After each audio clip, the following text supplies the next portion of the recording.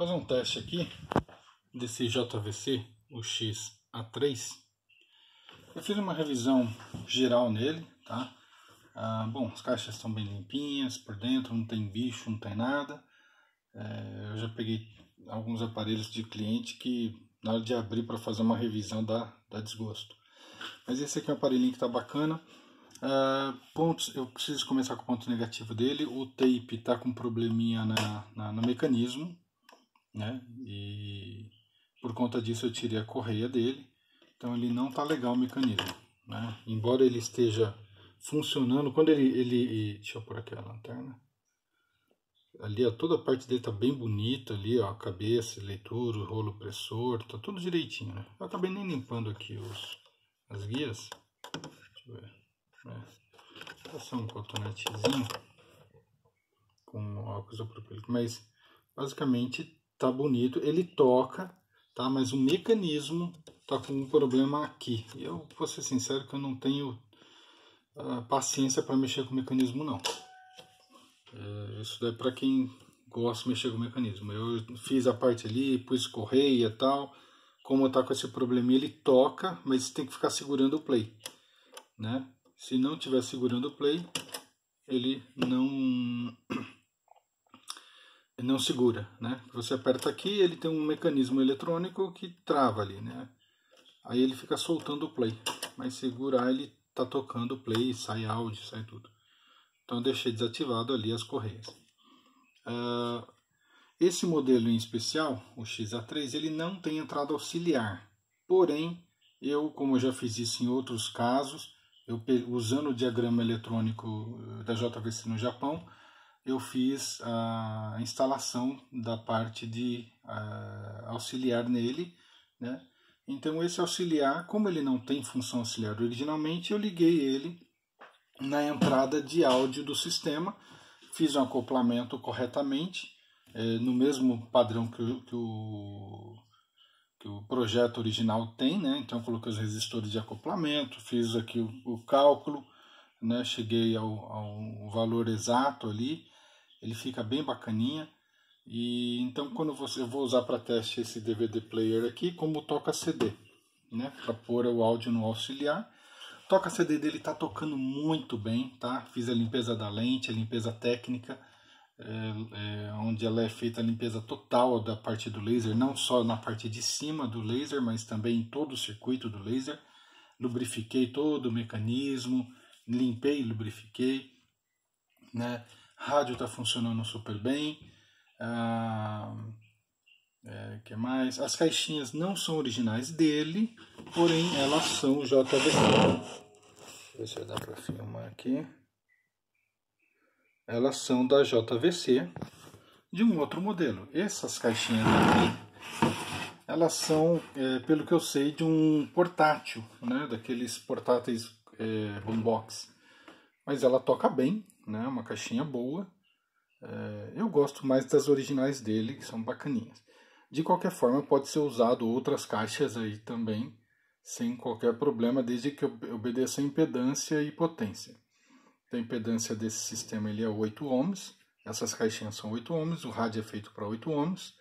Ah, até 6 ohms, se não ficar abusando do volume, pode colocar, não tem problema. Né? Ele, ele aceita, ele vai rodar bem. Ah, que mais? Ah, troquei todos os botões de painel. Tá aqui, ó.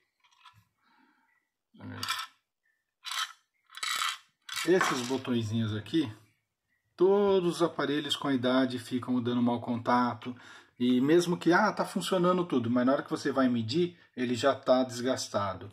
Então é questão de tempo para dar problema. Então eu sempre faço isso para não ter dor de cabeça. Troquei todos os botões dele aqui, todas as funções, todas as funções de painel e tudo, tá tudo trocado, tudo novo. Aí ó, eu tenho uma coleção desses negócios velho. Aqui é tudo os outros aparelhos que eu já troquei também. Ó, todos com defeito, tá vendo? Aqui, ó. Perfeito. Então, isso daí foi tudo trocado, né? E foi feita limpeza potenciômetro, é, unidade ótica. Ele tá todo revisadinho, parte de áudio. Tá tudo bacaninha. está bem originalzinho por dentro, não, foi fuçado, não foi mexido, não foi consertado nada. Só fiz a parte de manutenção preventiva mesmo. Botões preventiva, laser preventiva estava funcionando. Então, ponto negativo, esses são os pontos positivos, o auxiliar que eu instalei, vou mostrar ali atrás.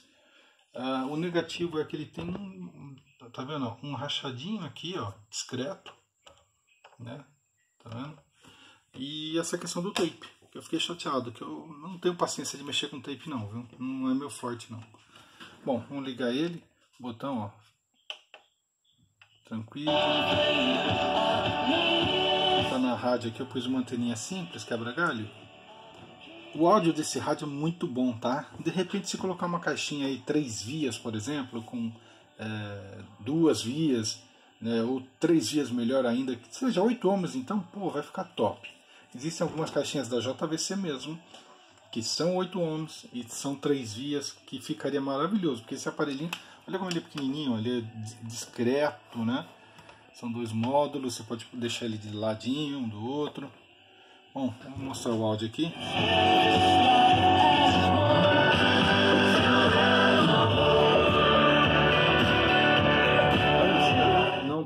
Ruídos, ó.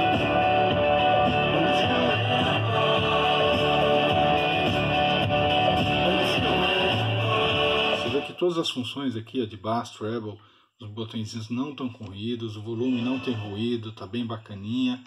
As funções aqui, por exemplo, Open, ó, funciona bonitinho. Todo o mecanismo, a lente limpinha por dentro, todo o circuito dela, tá?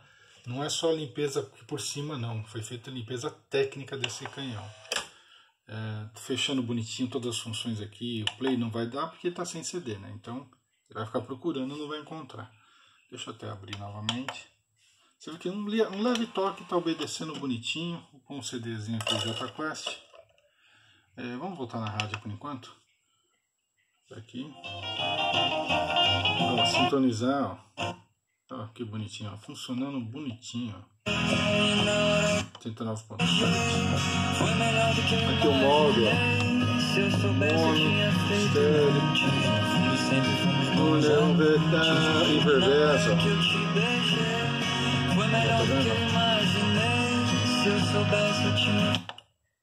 Tá aberto, tá mostrando que tá aberto. Vamos fechar então aqui, ó. Bandejinha. Tá lendo. Já leu rapidinho. Vamos dar um play, ó. Um leve toque tá funcionando, não precisa ficar apertando com força. Já tá rodando, ó passar para a próxima música aqui, ó. Passa rapidinho, né?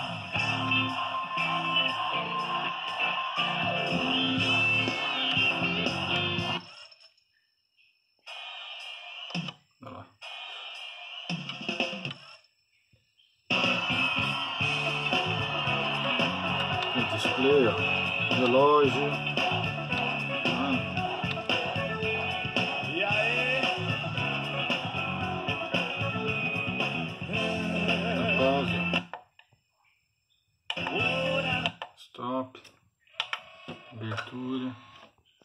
funcionando bonitinho, vou deixar ele aberto ali.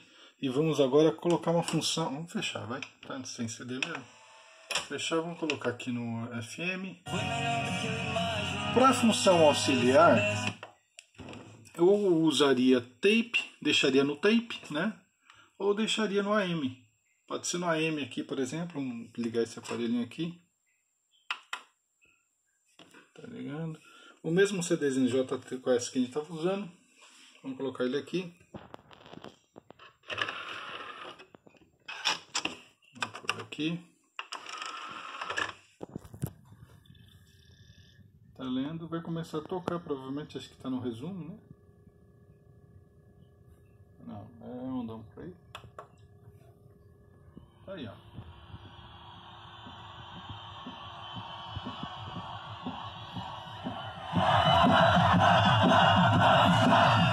Mesmo estando aqui, ó, deixa no AM, porque o AM vai estar tá sentando, ninguém está usando o AM ultimamente, né? Então o AM está mudo.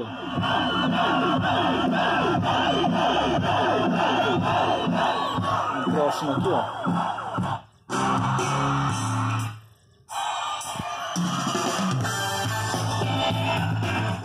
Bom, basicamente é essa ali funcionando bonitinho. Vou, vou mostrar aqui o auxiliar, onde é que eu fiz. Aí, ó. Basicamente é como é um projeto original. Deixa eu tirar aqui, ó. Tá vendo? O, deixa eu aumentar.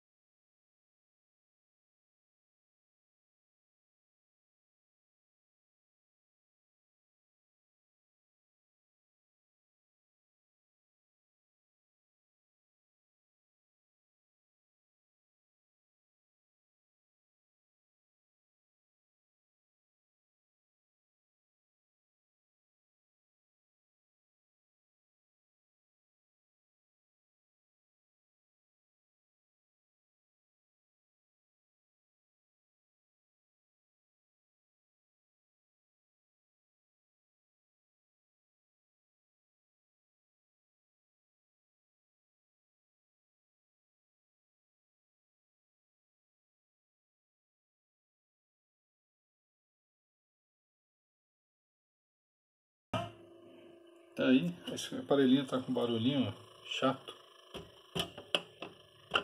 Vou ter que ver por que, que ele tá vibrando. Mas tá aqui, o aparelhinho bonito. É...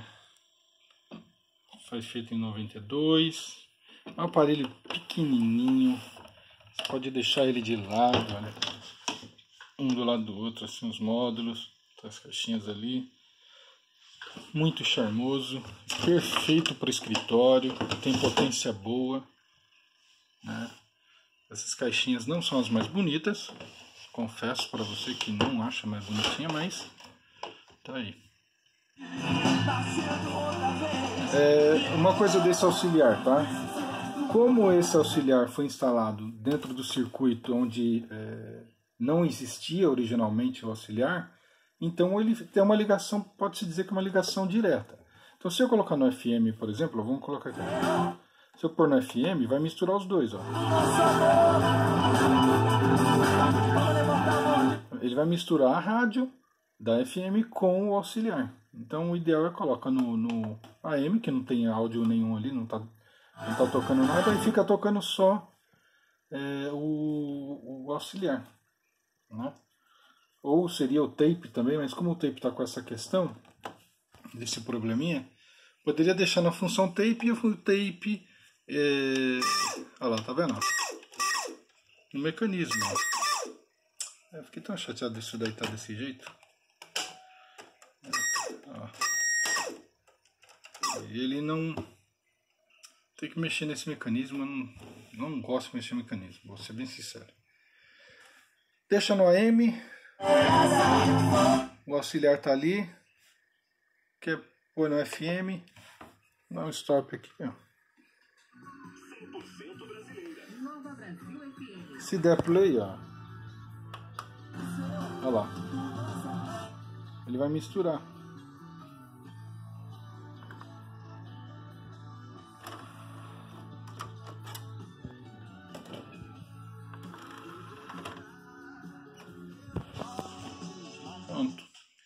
Aparelho bacana, fazer as fotos.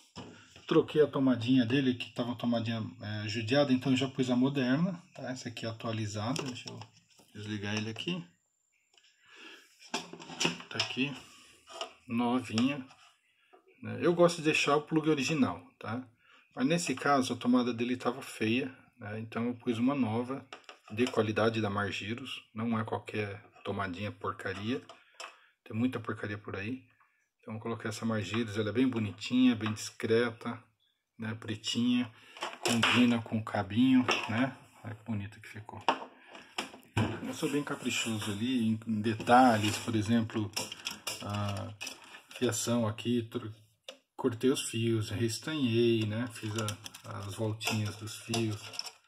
Então, então estanhado novo.